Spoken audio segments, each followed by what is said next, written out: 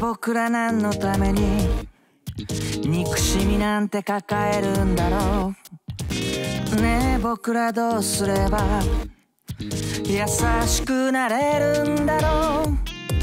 そんな夜に君と出会い壊れそうな君を思いその傷が深いから優しくなれたんだよ。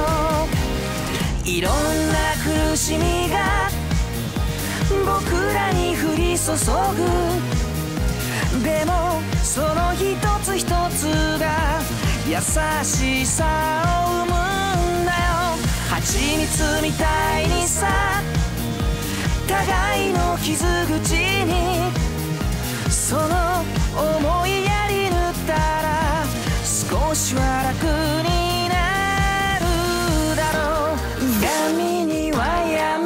集い。光には光が集う僕らはどちらにだってなれる。